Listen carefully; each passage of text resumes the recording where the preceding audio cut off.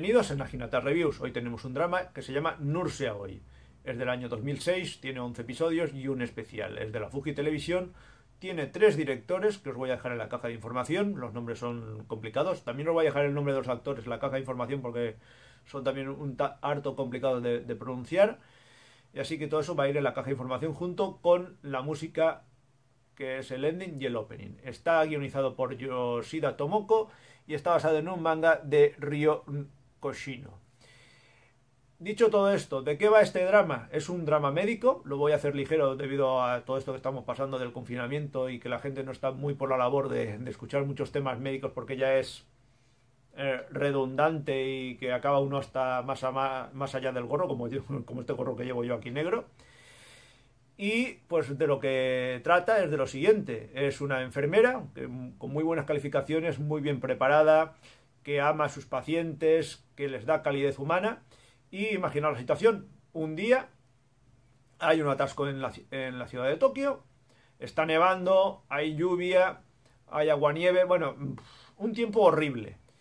Y va en una ambulancia camino de, del hospital y en la zona de urgencias donde ella trabaja Resulta que a mitad de camino el pobre paciente se pone cada vez peor y tiene que hacer una serie de, cosas que le va diciendo, mm, unos procedimientos que le va diciendo su, doctor, su, su, jefe.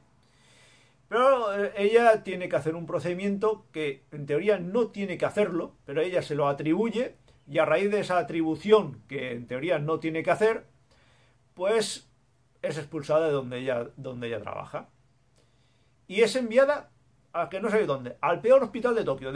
llega desde lo más alto y cae a lo más bajo. Allí en ese hospital va a conocer a una serie de, personajes, que los vamos a dividir en dos partes. Los buenos y los, no, y los no tan buenos, porque aquí malos malos no llegan a ver. Sí, un poco eh, toca narices o toca, con perdón, pelotas, pero sí que los vamos a dividir de esa manera. En el lado de los buenos vamos a tener a una enfermera jefe, a, una, a, su, a su ayudante y también vamos a tener a un doctor que lo, lo, pasa bastante mal, ¿no? O sea, es un muy buen doctor, pero la vida le ha tratado un tanto mal en cuanto a nivel personal, digamos, y también algo profesional. Y por el lado de los indiferentes vamos a tener un, un término medio que van a ser una serie de enfermeras y en el lado contrario pues vamos a tener a un médico que no está especializado, que es muy joven, pero que sigue a pies juntillas lo que, va, lo que le dice un personaje que es otro médico que es muy bueno, pero que está pensando más en el dinero que en los propios pacientes. Dicho esto, ¿qué es lo que vas a encontrar a nivel técnico? A nivel técnico lo que vas a encontrar es, como es una serie de hospital, pues vamos a encontrar muchos ciclos, o sea, todo encerrado, siguiendo a los personajes con la cámara por dentro de, los pasillos, de los, eh, de los laboratorios, de las zonas de reuniones, ya sea para los gerentes como para los médicos o como para las enfermeras, etcétera. También van a haber espacios cerrados en su departamento y vamos a tener otro espacio cerrado en un bar donde van a, descansar los médicos después de, su ardua labor, labor profesional.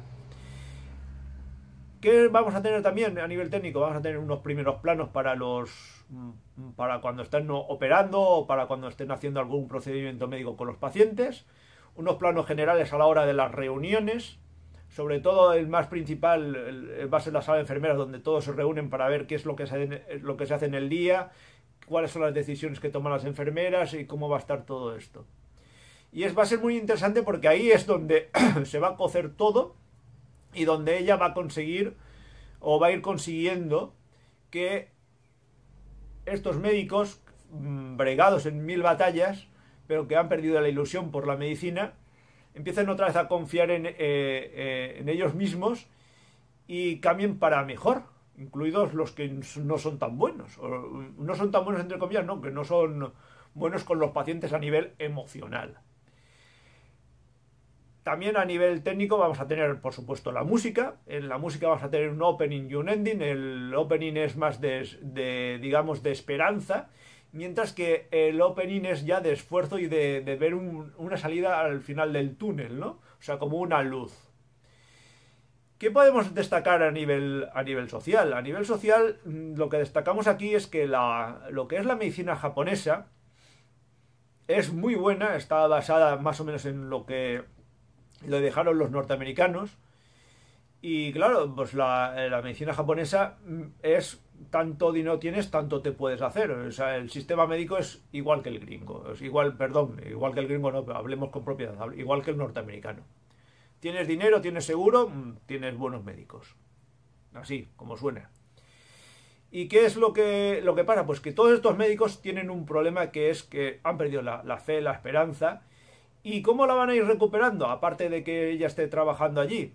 Pues a través de una serie de casos clínicos que les van a llegar al hospital, que les va a ir a hacer cambiando y ver que la, a quien menosprecian a esta enfermera, nuestra protagonista, tiene razón y esa esperanza y esa fe que tiene y ese tratamiento que les da y esa calidez hace que todo vaya mejorando para ellos y recuperen y veamos en ellos esa calidez humana que al principio de la serie no la encontramos por ningún lado. O si la hay, pues mm, no la demuestran en, su, en sus caras, ¿no? O sea, en sus gestos.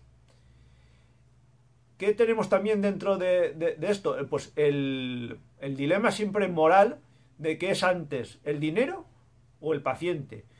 Y la verdad es que los hospitales, mm, tanto el, dinero como el paciente es importante, pero si no tienes un, buen dinero, mm, no tienes una serie de, de productos o de... no ya de productos, sino de, tecnología suficiente pues como para poder tratar mejor a los pacientes. Y si encima tenemos una serie de corrupciones dentro del mismo hospital, pues todavía peor, ¿no? En este caso no es que haya corrupciones, sino que hay unas conexiones políticas debido al, al gerente, es el que está siempre enfrentado a ella, que es un gran médico, pero que siempre tiene problemas con, con ella porque es todo lo opuesto a ella, aunque él es un gran médico, él es un, una persona eh, fría, eh, que no tiene simpatía por nadie, que solo le interesa el, ganar dinero y el mantenerse. Es una persona rica que tiene chofer, tiene de todo. Y siempre tiene una serie de enfrentamientos brutales y entre la moral o el dinero, ¿no? En cuanto a la medicina y en cuanto a los pacientes. ¿Cómo nos vamos a relajar en esta serie a nivel social? Pues con tres personajes cálidos, amables, que son una serie de, de, internos, de, enfermos que hay dentro del... Bueno, enfermos, pacientes, que están ahí, en ese pabellón médico, em, prácticamente todo de, por vida, porque tienen una serie de problemas que, pues, que, tienen, que necesitan tratamiento continuo. Estos tres personajes nos van a aliviar también al, espectador a la hora de ver todos los problemas que tienen los demás personajes. Es decir, en esta serie, en, estas series eh, es bueno que haya un poco de humor porque si no, siempre viendo problemas médicos, pues como que uno acaba un poco saturado, o sea, necesita un poco de, de, relax. Y los médicos, pues aparte de ir a beber al, al, bar, que como os comentaba en el aspecto técnico, pues también necesitan un poco de relax. Y estos tres personajes son los que se lo van a dar. Pues, ¿qué más os puedo comentar de esta serie?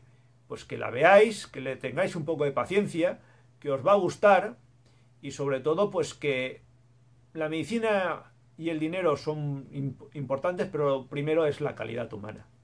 Pues nada más, seguidme en mis redes sociales, en Twitter, Facebook e Instagram. Y también pues darle a la campanita si queréis ver más vídeos míos para que os avise YouTube de, que he subido un vídeo nuevo. Si es que me aguantáis mucho o no me aguantáis nada. A ver si os gusta lo, lo que hago. Bueno, suena muy malo lo que estoy diciendo, pero bueno, pues que, pues que le deis a la campanita si os gusta y si no os gusta pues le ponéis like y si no os gusta pues le ponéis dislike, así de sencillo. Y luego pues nada, eh, suscribiros, que nos hace mucho bien a todos los youtubers. Y nada más. El próximo día nos veremos con un anime. Y nos despedimos ya. Muchas gracias y hasta el próximo video.